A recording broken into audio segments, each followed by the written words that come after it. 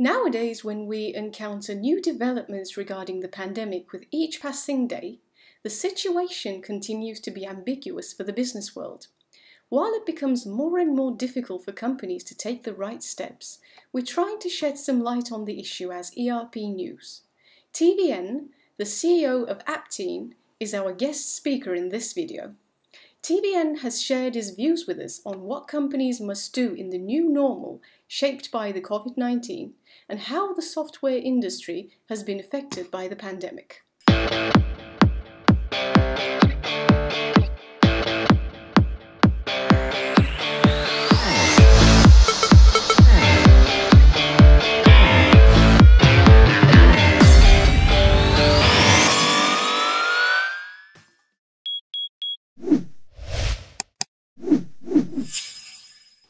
So, my first question is uh, Could you talk about your career in the software industry and Aptean, please? Yeah, sure. Um, you know, I was one of those people who graduated right at the time when Windows 95 released. So, we're, you know, it's very fascinating coming out of the college, going to technology. So, um, most of my early career was all in uh, programming, development, and architecture uh, primarily to web. That's that's kind of what was between 95 and 2000, really focused on internet. Um, and uh, you know, did a lot of uh, various things, primarily all around uh, building uh, services and software for, for cloud. I, and only in the B2B space. Most of my experience has been business to business. And prior to joining Aptean, I was uh, I was at ADP, which is uh, very known for payroll around the world. I helped as part of the team to build a large scale cloud solution for payroll and uh, payroll HR, um, and uh, and led product development for a number of uh, products, and prime with primary focus on uh, cloud transformation. And uh, you know, and I had an opportunity to look at Aptean early 2013 I was pretty very intrigued uh, by the opportunity to really come into a business with a number of products that are loved by customers, built for very specific verticals, and the opportunity to kind of infuse the technology, uh, what you know what I'm really good at, to take you know help the customers and the markets, uh, you know, on the the digital transformation journey. So yeah, I'm very I've been here for seven years now, um, and I started as the uh, CTO um, and then became COO about two years ago. I'm still as excited as, uh, today as I was seven years ago with the um, you know the opportunity uh, for us to kind of you know help with the technology transformation, the, the digital transformation of um, you know of the, our end markets, which is primarily the manufacturing and supply chain. Um, the effects of COVID-19 outbreak are felt all around the world and it's having a significant impact on the software industry too. Could you evaluate the effects of the pandemic on the ERP industry? Yeah, I mean, um, obviously, you know, COVID-19 is, um, you know, is having impact across all the industries. I think software industry in general has been um, you know, has been more resilient than any other industries because number one, it's kind of probably uh, the best industry that would benefit from what happened with COVID nineteen, just helping everyone go digital. The, the, consumers and the businesses that were very were less comfortable with the with the technology are forced to use technology, and these habits, even post COVID world, will, will continue to drive the digitaliz- digitalization uh, in a even more accelerated pa- pace than we all have been already uh, already seeing. From an ERP perspective, uh, we are um, our solutions are extremely critical to the businesses we serve. Uh, it's a, a, part and parcel of how they run business. So we're they're very critical to them. So we have been uh, fortunate that um, not really as much hit by COVID our priority really has been about how do we serve the customers uh, during this period. Even our customer segments, um, it's a um, they're very resilient. All of them are very stable businesses, and there's some of them, especially the food uh, food and bev companies that serve retail, their demand shot through the roof. So they're actually trying to figure out how to serve their demand.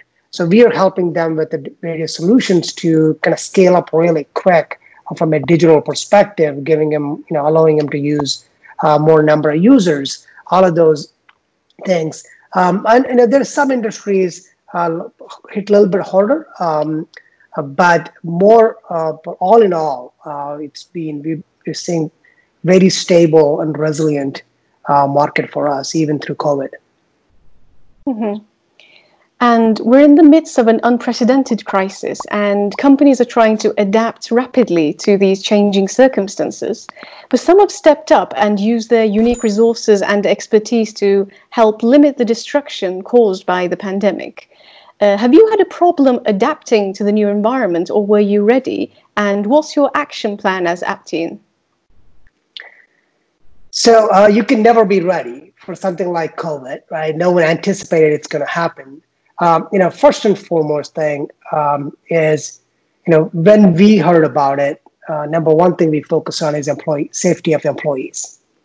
As, as like any other business, first thing you have to make sure our employees are safe, and then we are helping our customers and their employees to be safe.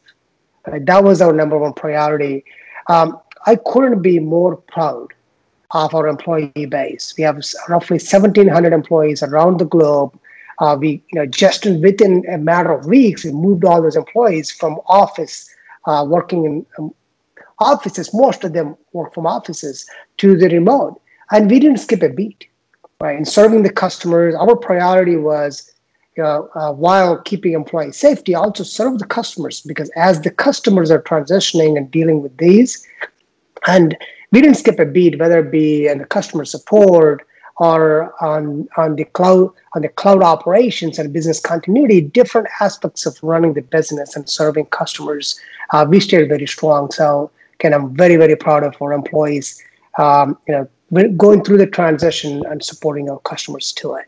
Um, and you know, when you, when you run into situations like this, um, it, this is where uh, the companies and the leadership have to be very agile.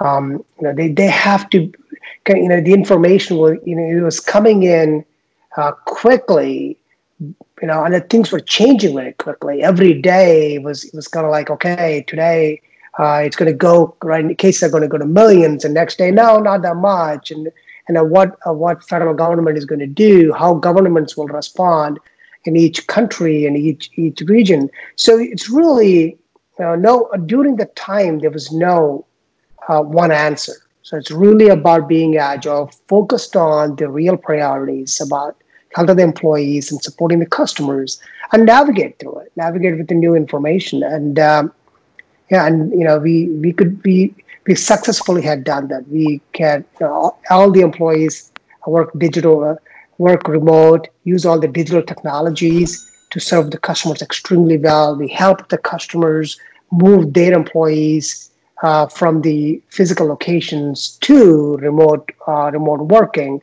Um, in addition, it's really understanding their need, what they're going through. Um, um, some of these customers they needed immediate place to go to cloud because they just couldn't access their on-prem system. So we helped them get to cloud. We gave them additional kind of licenses because their concurrency goes up when they're working from home versus office. So there are various things we try to uh, help our customers, um, you know, navigate uh, navigate the period.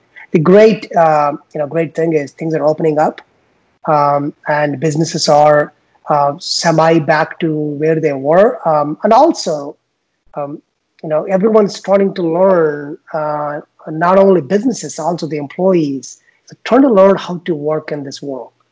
Like you know, the way i'm doing this this meeting from my basement and so it's the same thing. You can do the video conference and zoom conference with 25 people on the video um, and uh, you know everyone's learning so i think um, it's a it's a it's definitely uh, personally i'm pretty uh, you know pretty impressed with not only our employees, also how everyone, our customer base, our customers' employees, how they how they adapted to this and how quickly they adapted to it, uh, and and running their businesses uh, almost at the same strength as they did pre-COVID. And what would be your recommendations for companies that were caught off guard by this crisis? I mean, it, it, it, it's really about preparing for tomorrow. Um, everyone, um, everyone is on a, some path to digital transformation. Some are maybe at the end, some are up there.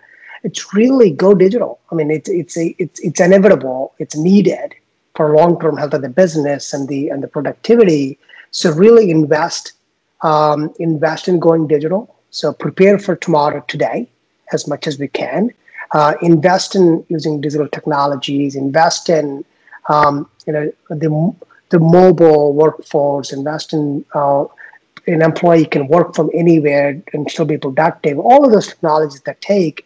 However, at the same time, same time, don't lose sight of what makes the core business tick. Right? This is, you know, um, Aptean is you know, one thing I'm very proud of, or we're very proud of, is the blend of technology into a purpose-built solution that that works for our customers really, really well.